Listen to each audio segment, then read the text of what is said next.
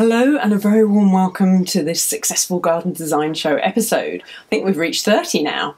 And this episode is going to be a little bit different from all of the others uh, because basically of the situation that we all find ourselves in. I'm filming this um, middle of May 2020, and gosh, what a unprecedented few months we've had. Um, every week in my newsletter, I ask people, What would you like me to write about next week?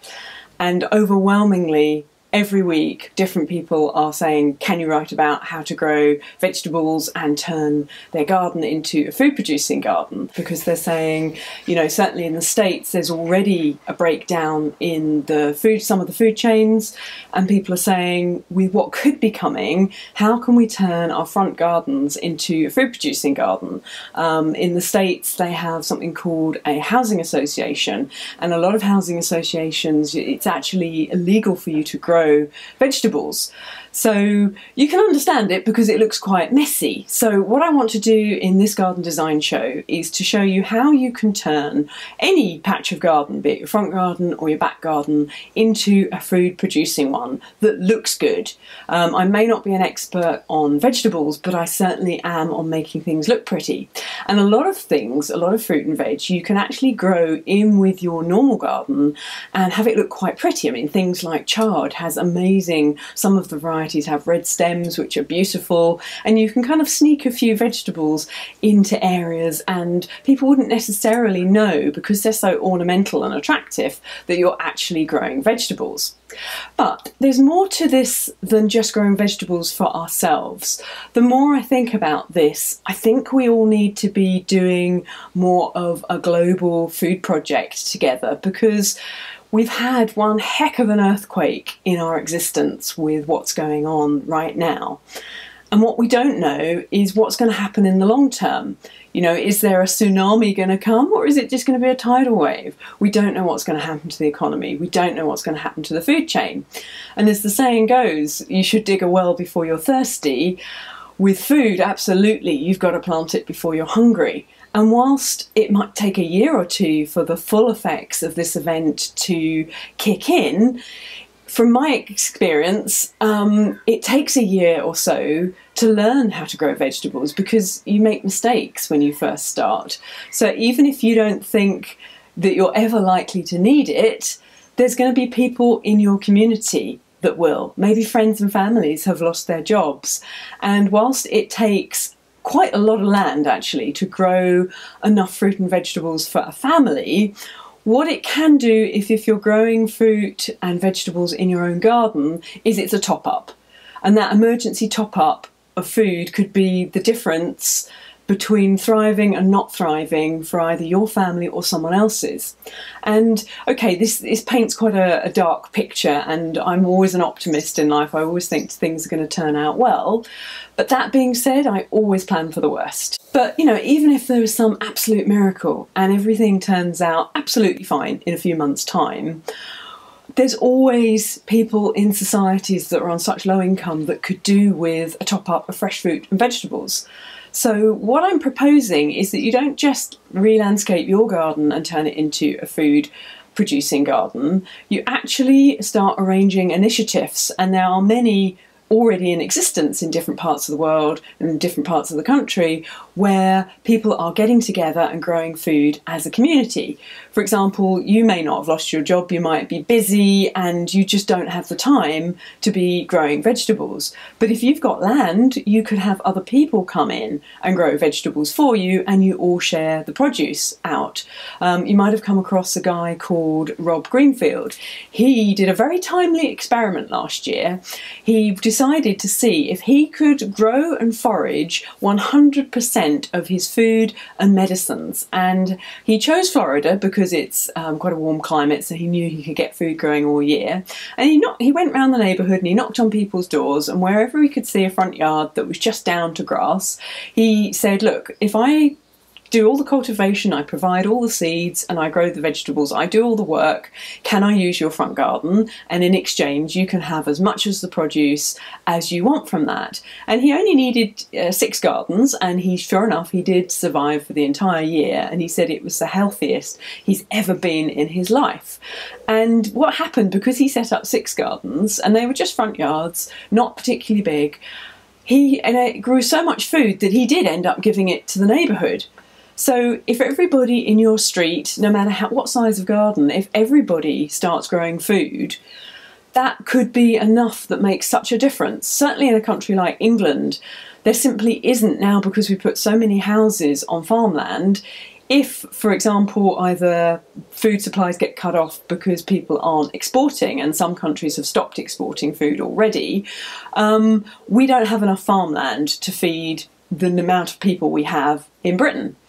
But if everybody does their part and grows some fruit and vegetables in their own garden, no matter what size, even if you've got a tiny little terrace somewhere, you know, vertical gardening, you can grow things in pots.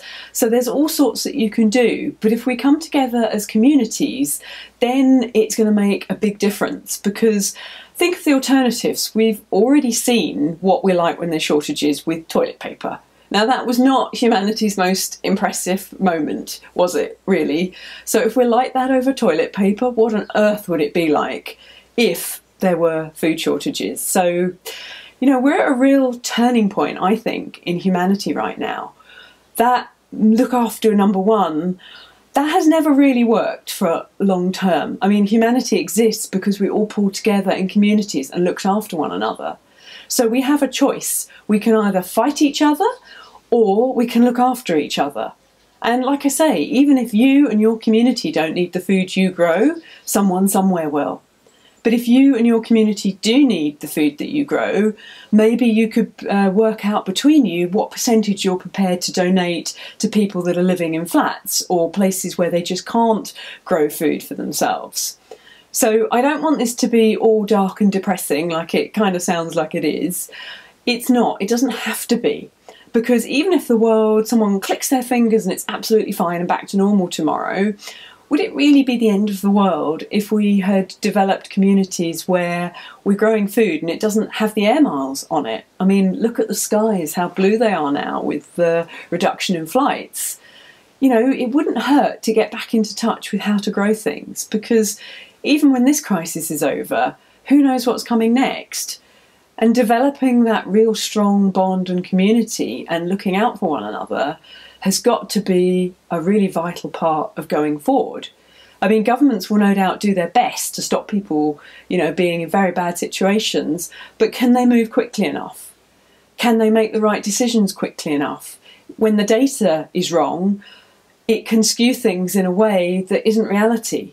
Whereas if we're all a little bit self sufficient, even if it's a tiny amount, that can make all of the difference. And what I'm going to do now is some demonstrations and to show you how that you can have an attractive design that's still functional and food producing. Because I think that's going to be the biggest battle, persuading everyone in the neighbourhood, because really fruit and vegetables can look pretty ugly pretty quickly. If you can show that there's some design ideas that will work and enable them to not only have an attractive garden, because let's face it, most people's front gardens and back gardens for that matter aren't utilised as well as they could be.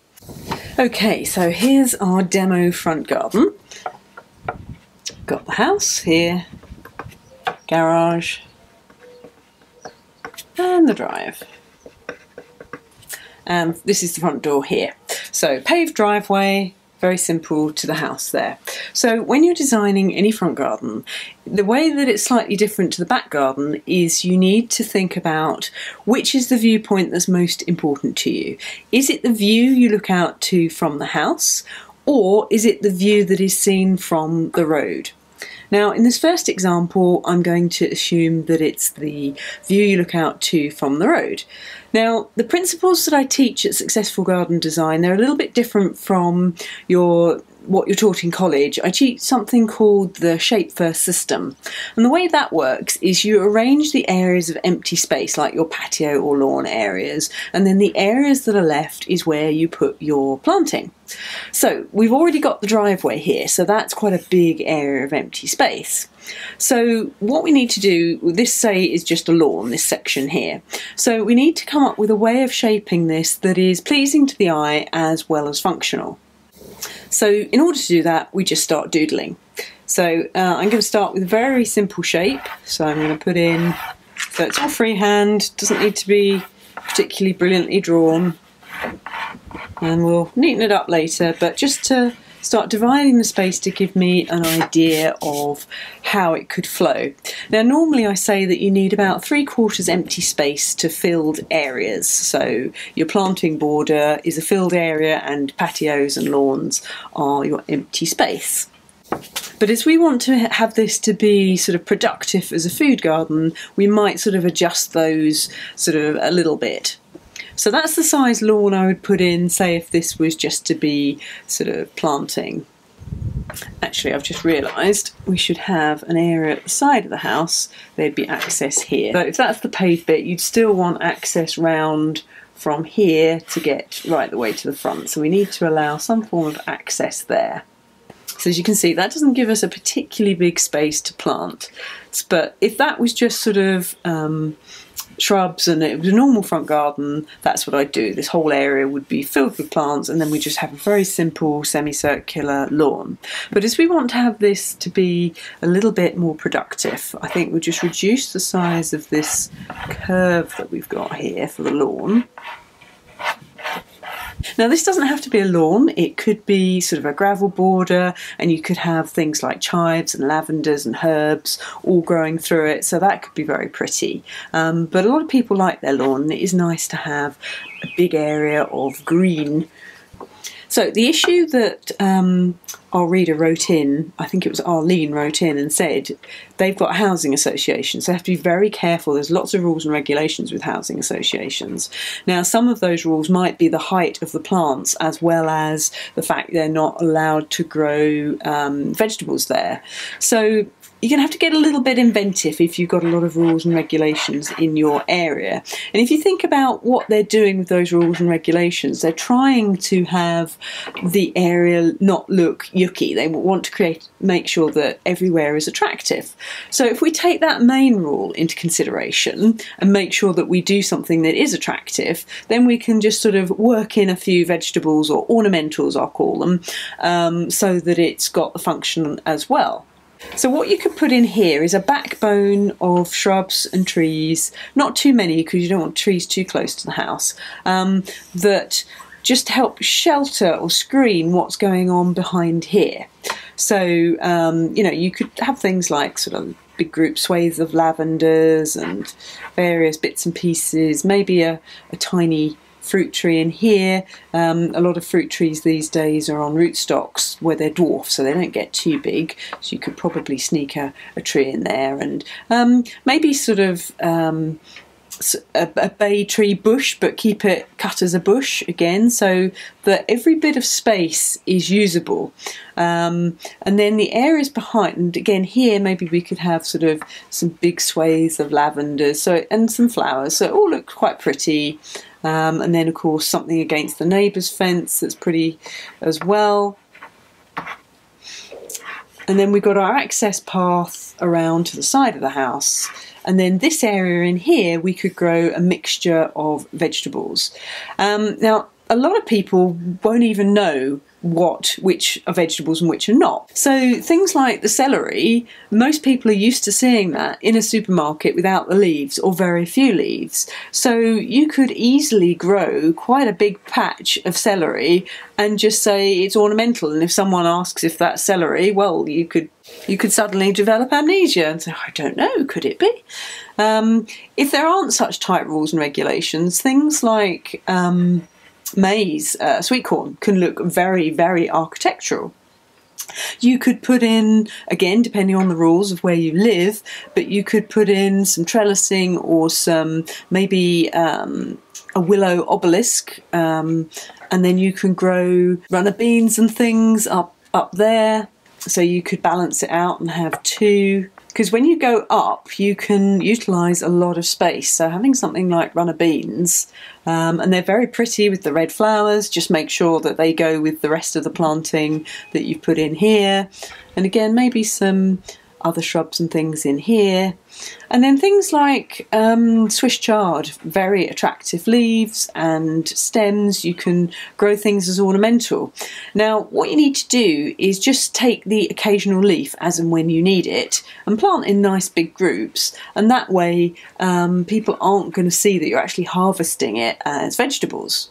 And then you might get away with some um, really deep purple lettuce around here. Again, if you're not cutting whole crops off and you're just taking the leaves as and when you need them. Um, and there's some very crinkly leafed varieties that look very pretty. And then you can put some more bits and bobs in here. So this whole area could be quite productive for um, fruits and vegetables. So if I just sort of put some shading as to which bits could be food producing. And then of course you've got your back garden as well. You can grow things in pots. So this whole section here could be food producing. Here you've got things that you could have herbs, um, things like lavenders, rosemary, curry plant, so that you can still have edibles, but they look like traditional planting. And this area here, it could be a lawn, or you could have it lots of um, different size gravel and some boulders and things like chives through um, and in the low growing thymes, there's lots of really pretty ones with variegated leaves that people wouldn't necessarily know that it's thyme. So um, this is only, of course, if you've got the rules and regulations. But as long as it looks pretty, you're kind of doing the main thing that the housing association wants, not having everywhere look messy and ugly. Um, so if you're going in the spirit of what they're trying to achieve, but you still happen to grow a few things that are edible, then you know they'd have to be pretty insane to try and stop people growing food in today's issues. So hopefully um, you'd get away with it and still have quite an attractive sort of garden to look at. So for those of you that aren't really into visualising, let's just kind of show you what this would look like. So you'd have your little fruit tree here, lots of nice little plants yeah, obviously drawing is not one of my strong points, but that, that's a good thing because it shows you do not need to be great at drawing. My drawings always end up looking like you're floating halfway in the air, but anyway, um, it's reasonably attractive to look at. And then if you wanted to um, have this as gravel instead of lawn, you could have a few boulders. And even if you haven't got such strict rules, so that it looks enticing, it doesn't hurt to have um, a good backdrop of shrubs and things so that there is some clarity to it because that's the the last thing everyone wants is yes they've got lovely fruit and vegetables but the whole garden just looks an absolute eyesore especially in the in the front garden. But it, you know you don't need any great drawing skills or massive imagination. All you're doing is creating a very simple geometric shape that gives a sense of space, and then the areas that are left are where you put um, your plants. So, what I want, the main thing I want to get across to you is this doesn't have to be difficult or expensive to do. It can be very simple. You're just arranging the empty space. Now, if you want to do it the other way around, whereas you want it to the air, the main view is what you're looking out to, then it's basically very similar. So, it's just put in an access path to the back here.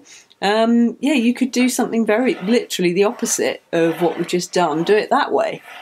A little path there, and then again, we could have some more attractive planting, could be lavenders or whatever in this area, so that that screens the veggies. You could have sort of gravel so yeah, that's very scribbly. Trust me, it will look good. Let me show you now some some plans that you could for uh, gardens that I've done, and show you how you could, which areas that you could turn into vegetables. Because I'm sure my scribble, you're probably thinking, what on earth is that? Okay, so these are plans for back gardens and proper ones that I've actually spent some time on. Now, these weren't specifically designed for vegetables, but what I want to show you is how you can adapt any design. So, this section here, for example, that would make a perfect vegetable patch, and you can see we've got some metal uh, arches here. Uh, you can see them in the sketch just here. That would be a perfect place for growing runner beans and peas and things like that, and it would still look pretty. And then on this side, you could have some fruit trees and you could espalier them. So you actually you can see the arches here. They mimic what's going on here. You could actually train the trees to the shape of this archway and maybe have some branches come across. So you're kind of making them um, sort of artistic shapes, and then you could have various fruits and things all planted around this area. And then any of the fences, and you know, you've got trees here, you know, you can just put fruit and vegetables in with any of your existing garden. If you've got a nice design layout like this that really flows, then so much the better. That is what helps your garden look good much more than the planting. I mean, to have a great looking garden, 60 to 70% of that comes down to the design layout and the shapes that you use. Uh, the planting really is the icing on the cake. Now, this garden was designed with food producing in mind, so if we zoom in a bit, you can see we've got hidden to the side here these raised vegetable planters all along there and then some wall pocket planters actually hanging in between. So we're really utilising all that vertical space. And you know, you have grapevines over the pergolas here. Um, we've got some some trees around this lawn area, but there's no reason that they have to be ornamental trees. They could easily be fruit or nut trees. Um, we've got plenty of wall space and areas that could have vegetables incorporated in it, should you wish to extend more than just these vegetable beds. But even if that's all you've got, with that and the wall pockets, which basically are large pockets which cover the wall with different pockets that you can fill with things like strawberries and all sorts of good stuff, this tiny area here would still produce quite a lot of food. And if you need extras, then you can just dot everything in with your existing planting. So again, this garden, you could adapt sort of an area behind this tree and around this pergola area for growing a few fruits and vegetables and just have a few dotted in the borders. The main thing is to arrange the space and then that enables you to sort of have key areas like you could have lots of herbs growing through this swathe of gravel here. And even in a really tiny back garden like this one, if we zoom in on the plan there, now, this was all raised beds. There's nothing to stop you having the really pretty plants around the patio area, and you know the things like lavenders and rosemaries. As I said, um, you know they're still edibles, and then have some um, vegetables in the rest of the borders there. So yeah, have that bit down to pretty stuff, and the things at the back would be your vegetables. And if you've got a garden on different levels like this one, um, you can have different areas where you put fruit and veg in. So you can see here, very simple lawn area, and there's plenty of room where you could grow vegetables and ornamentals in with the over the pergola. Um, I've drawn a wisteria in here, but there's no reason that can't be a grapevine or runner beans. And you've got all this vertical space, so even in small gardens, you can make the areas quite productive and mix and match the vegetables in with your ornamental plants. So as you can see with this front garden here that's been freshly landscaped, it's not a million miles off uh, the design that I've just drawn up. And all this area could be filled with lots of lovely planting with mixtures. Now, it was all ornamentals in this particular garden, but there's certainly room that you could put some fruits and vegetables in with all of this planting. So this is my um, very first front garden to my first home and virtually every single plant in this garden is edible apart from the spiky one here, the phormium. But I've got rosemary, variegated sage, there are bay trees growing inside of these obelisks and then around the outside there were runner beans. I've got my onions and uh, lettuce all in there, lavender, chives, thyme, and then we've got this uh, grapevine here, which ended up taking over most of the house and kept all of the local birds fed. But it just goes to show really tiny space, yet it was surprisingly productive. Oh, yes, carrots, that was the other thing I had in here. So, literally any size space you can grow edibles in. So, a few years ago, I designed a culinary courtyard garden for author and vegetable expert Niki Jabbour in her groundbreaking Food Gardens book.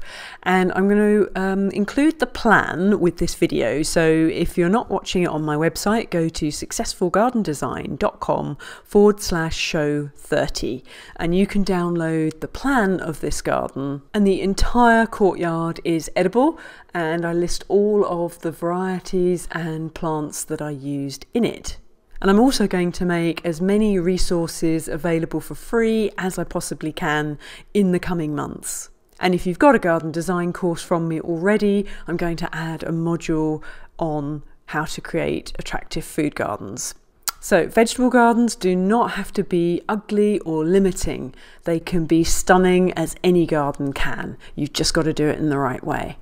So I hope this has given you lots of ideas on what you can do in your garden and I really encourage you to go out in your neighbourhood and try and get something set up, even if it's only one or two of you in your street to begin with. People need to see something happening and working well before they'll take it on board. So be an early adopter and try and get as many people as you can to start growing, even if it's just a small amount of fresh fruit and vegetables, because that could make all of the difference.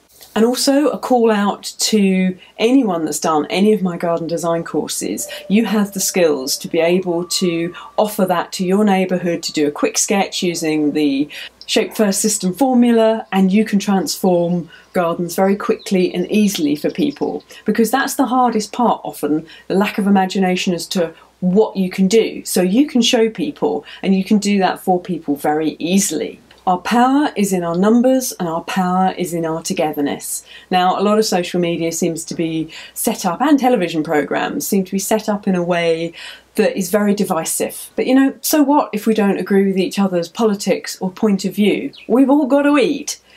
So let's just put our differences to one side and just focus on how we can help each other the way anything comes into culture and society, and it's already in a lot. I mean, this is not a new idea. There is lots of communities already doing this kind of thing, but it just takes one person. So I hope that person is you, and the difference that you can make to your community is amazing. And even if it is just you, the only person in your street that does this, over time it will encourage others. So I've created a group uh, called Grow Together Food Gardens where you can share information, ideas, links, whatever you want to help you get set up and turn your garden into a food producing one. Now, I haven't set it up on Facebook because I know people are leaving Facebook by their droves at the moment, and also lots of my customers aren't on Facebook anyway, so this is a what really wonderful uh, app called Telegram. You, there's no algorithms tell, so deciding what you can and can't see. You just see everything that's listed. There's no adverts, and at the moment, it seems to be a really lovely space where people are getting together and sharing ideas. So um, you don't have to download the app. You can uh, view it on your browser um, or you can download the desktop app, which does make it easier. Um, so I will put the link beneath this video and then you can come in and share your ideas. In the next Garden Design Show episode, we're going to look at all the practical steps you need to do to get this into action. How to do your own garden, how to help organise those around you, and all the practical steps that you need to take. And I'll provide as many resources as I can to enable you to completely transform your garden. And in the meantime, if you'd like to learn more about garden design, do take a look at our free garden design web classes that we run at successfulgardendesign.com forward slash free classes.